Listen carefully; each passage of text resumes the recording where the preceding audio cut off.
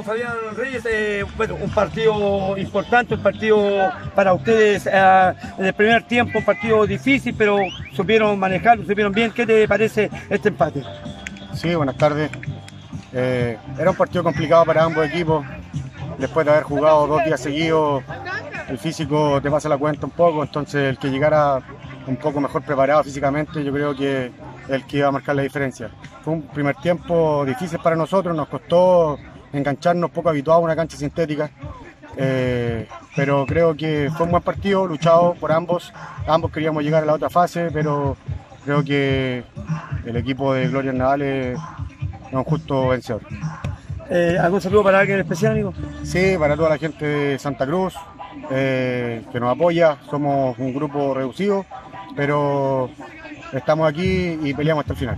Listo, muchas gracias. Gracias a ustedes. Por ahí lo dijo Alejandro, un partido fue un partido difícil el primer tiempo, pero el segundo tiempo cambió toda la historia. Gloria Navales estaba tranquilamente ganando, pero bueno, se empata. Vamos a ver qué pasa con el siguiente partido. Vamos a ver si que tomamos algún jugador del cuadro Gloria.